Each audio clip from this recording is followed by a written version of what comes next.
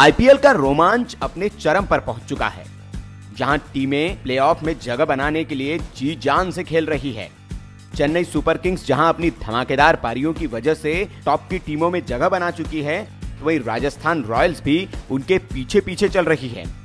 लेकिन अब आपको ये जानकर हैरानी होगी कि चेन्नई सुपर किंग्स और राजस्थान रॉयल के बीच होने वाले मुकाबले में राजस्थान रॉयल नीली जर्सी में नज़र नहीं आएगी।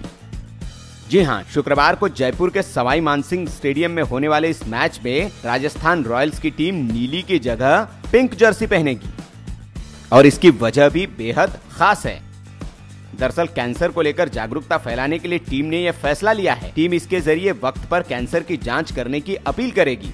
राजस्थान रॉयल जागरूकता अभियान, राज्य सरकार, national cancer grid, Indian cancer society और इंडियन डेंटल एसोसिएशन के साथ मिलकर चला रही है। बता दें कि राजस्थान रॉयल्स आईपीएल की दूसरी टीम होगी, जो सामाजिक मुद्दों पर जागरूकता फैलाने के लिए इस तरह का प्रयोग कर रही है। इससे पहले विराट कोहली की टीम रॉयल चैलेंजर्स बेंगलुरु पर्यावरण बचाव मुहिम के तहत एक मैच में लाल की जगह हरी जर्सी पहन चुकी है। अब एक और टीम इसी तरह के एक संदेश को लेकर पिंक जर्सी में उतरेगी। वायरल किडा न्यूज़।